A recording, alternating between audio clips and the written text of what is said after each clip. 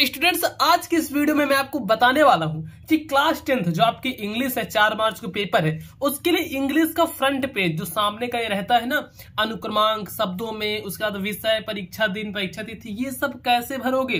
क्योंकि आपको देखो, इसमें प्रॉब्लम होगी, मुझे पता है। क्योंकि हिंदी का तो आपको भरना आता था, लेकिन कहोगे, भैया इंग्लिश में कैसे भरेंगे? आखिर किस तरीके से लिखेंगे? और अगर इसमें आपने कुछ गलती कर दी तो आपके नंबर भी कट जाएँगे। हो सकता है कि आपकी कॉपी चेक ही ना हो, वहाँ पर आपका रूल नंबर ही गलत हो। आपकी जो कॉपी चेक हो रही है, वह किसी और के रूल नंबर पे चढ़ा दी जाए। तो ऐसी बहुत सारी दिक्कतें हो सकती है, मैं समझता हूँ, लेकिन कोई दिक्कत नहीं। मैं जो बता रहा हूँ, बस इतना समझो।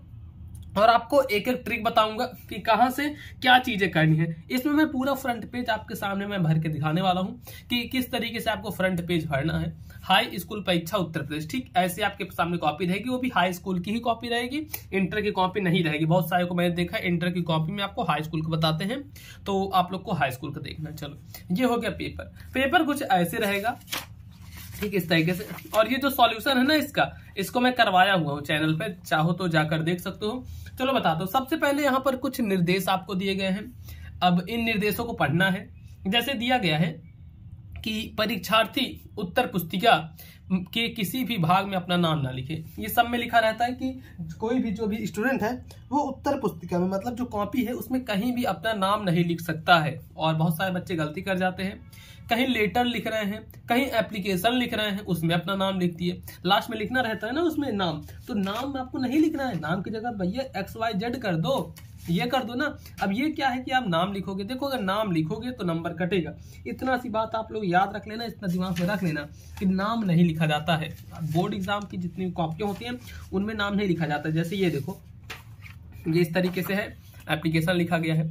इसमें देखो, नीचे जहाँ योर्स ऑबिडेंटली यहाँ पर नाम मत लिखो। यहाँ पर एक्स वाई जेड कर दो। ठीक, इतना आपको समझ में आया कि नहीं? इतना मुझे बताओ। अगर इतना समझ में आ गया हो तो अब बढ़े हम आगे। चलो, इतना हो गया। अब बताते कहोगे भैया, ये कैसे भर जाएगा, इसको हमें बता दो, बाकी और चीज़ें तो हम कर ही लेंगे। और चीज़ें कर लोगे ना? चलो, यहाँ देखते हैं। जैसे यहाँ पर परीक्षार्थी का अनुक्रमांक अंकों में। अब देखो, अंकों में अनुक्रमांक लिखना है तो कोई भी हम एग्ज़ाम्पल ले लेते हैं, जैसे one three four two five six one two मान लो, इतना हमने ले लिया, ठीक? ये एक एग्ज़ाम्पल में मैंने लिया है। कि ये किसी का भी रूल नंबर हो सकता है, वैसे किसी का होगा नहीं, क्योंकि तीन तीन, छह, सात, आठ अंक ही है। लेकिन हाँ एक एग्ज़ाम्पल मैंने ले लिया कि चलो भैया, ये हो गया इतना, ठीक? अब देखो, अंकों में तो इसको यहाँ पर लिख लिए। अब इसको हमें शब्दों में लिखना है। शब्दों में कैसे करेंगे? देखो, शब्दों में जैसे यहाँ पर लिखा गया है कॉपी भाई सही हो जाए देखो, यहाँ पर लिखा गया है वन इसको मैं थोड़ा सा जूम करता हूँ, आपको और अच्छे से दिखने लगेगा ना? ये देखो, रुको तो। और जूम कर लू हाँ। अब सही, अब आपको दिख रहा होगा थोड़ा बढ़िया से। मैं चाह रहा हूँ कि एकदम अच्छे से आप लोग समझो, कहीं पर कोई भी गलती नहीं करनी है। जैसे यहाँ पर वन लिखा गया तो ऐसे लिखो। वन ठीक वन लिखे। फिर कॉमा लगाओ। थ्री है तो यहाँ पर लिखो three T H R double A three फिर है फोर तो ऐसे लिखो four F O U R four लिख दिए। फिर है टू लिखा है तो कॉमा देखो कॉमा लगाते जाना। फिर ऐसे लिखना है टू फिर कॉमा लगाओ। फाइव सिक्स वन टू है। फाइव है तो ऐसे लिखो फाइव फिर सिक्स तो ऐसे है सिक्स वन है तो वन लिख दो। अब टू है, देखो क्या करोगे? इसके सामने भी यहाँ तो लिख नहीं दोगे। इसी के नीचे थोड़ा लिख दो। इसी के नीचे जैसे यहाँ पर लिख दो टू ठीक? ऐसे कर देना है। इस तरीके से भरना है। अब ये नहीं करते जाना है। Ones tens hundred thousand ten thousand उसके बाद लैक टेन लैक हंड्रेड लैक जो भी है, अरब अरब ये सब चीज़ें नहीं करनी है, ठीक है? इतना कर लो। अब इसके बाद विषय। अब विषय में क्या लिखोगे? विषय में जो आपका सब्जेक्ट है इंग्लिश है, ये इंग्लिश का पेपर देने जा रहे हो ना तो यहाँ पर लिख देना है इंग्लिश ऐसे लिख देते हैं। E N G L I S H English लिखती है, ठीक? अब देखो, ये हमारा इंग्लिश का पेपर है, इसलिए पूरा इंग्लिश में ही भरना है। चाहो तो हिंदी में भर सकते हो, कोई दिक्कत नहीं है, लेकिन इंग्लिश में भरोगे तो क्या होगा? एग्ज़ाम को लगेगा कि भैया, जो बच्चा है, वह थोड़ा पढ़ने वाला है, क्योंकि वह शुरू में तो आपकी ये कॉपी देखेगा, और अगर ये कॉपी इंग्लिश के पेपर में इंग्लिश में लिखी हुई मिलेगी तो वो सोचेगा कि हाँ पढ़ने वाला है। और अगर इंग्लिश के पेपर थोड़ी सी हिंदी हिंदी मिली, हिंदी टाइप में आपने लिखा है तो उसको थोड़ा बहुत ऐसे, भले आप पढ़ने वाले स्टूडेंट होंगे, लेकिन जो दिमाग में टीचर के बैठ जाएगा ना कि शायद हो सकता है या उतना ना पढ़ना जानता है, फिर कुछ भी चीज़ें बैठ सकती है। अब देखो, इसके बाद प्रश्न पत्र प्रश्न पत्र में क्या लिखना है? प्रश्न पत्र में ओनली लिखना है। ओनली क्वेश्चन पेपर प्रश्न पत्र मतलब होता है क्वेश्चन पेपर देखो ओनली क्वेश्चन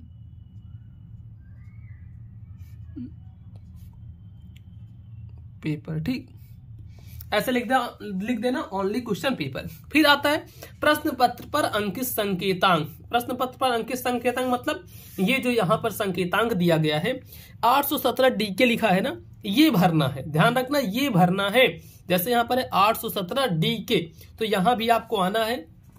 अपनी कॉपी में यहाँ पर जो पूछा गया है 817 ऐसे भरो 817 फिर ब्रेकर में डी के तो ऐसे भर दो डी यहाँ पर के इस तरीके से भर देना है, आठ सौ सत्रह डी के अब देखो, इतना कुछ करने के बाद अब क्या भरना है?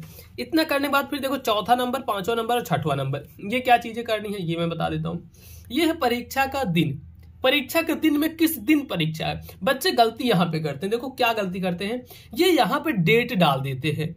डेट डाल देते हैं डेट मतलब यहाँ पे डाल देंगे, जैसे चार मार्च को डाल देंगे चार मार्च। नहीं, यहाँ पर चार मार्च नहीं डालना है। वो तो तिथि में डालना है, जहाँ तिथि लिखी है।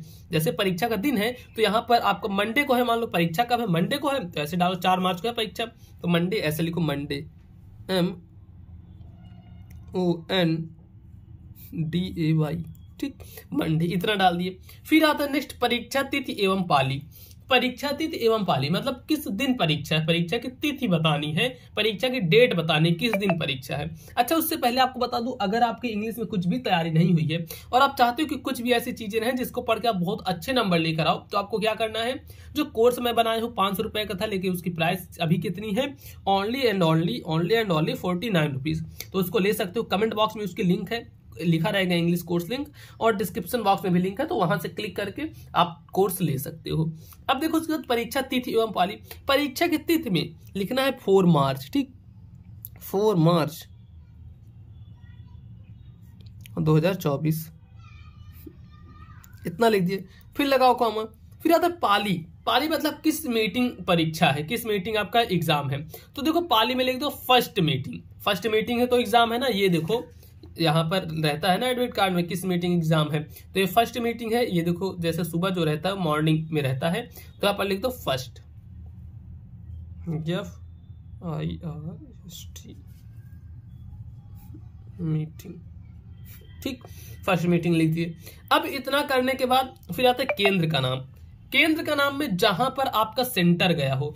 मान लो जीआईसी इंटर कॉलेज में गया मैं एक एग्जांपल ले रहा हूँ तो ऐसे लिख दो।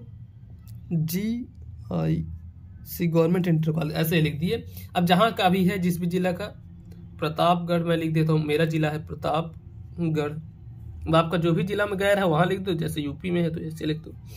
इस टाइप से, देखो, ऐसे आपको जो लिखना है, जो भरना है ना, ऐसे भरना है और ऐसे भरने के नंबर मिलेंगे आपको। नंबर का मतलब ये कि ऐसे भरोगे तो एग्ज़ाम को लगेगा कि जो बच्चा वो पढ़ने वाला है और उसने भरा है अच्छे से। और देखो, अगर आपने अभी तक कुछ भी तैयारी नहीं की है तो मोबाइल पर, स्कूल चैनल पे, इसी चैनल पे बहुत अच्छे से तैयारी करवाई जा रही है। ट्रिक वगैरह, और भी चीज़ों की ट्रिक, सब चीज़ें मैं बता रहा हूँ। तो चैनल को जल्दी से आप लोग सब्सक्राइब कर लो और जो चीज़ें मैं बताया हूँ, उनको जाकर ज़रूर से आप लोग देख लो। तो बस दोस्तों, फ़िलहाल आज की वीडियो में इतना ही। अब मिलेंगे हम आपसे और किसी नेक्स्ट वीडियो में।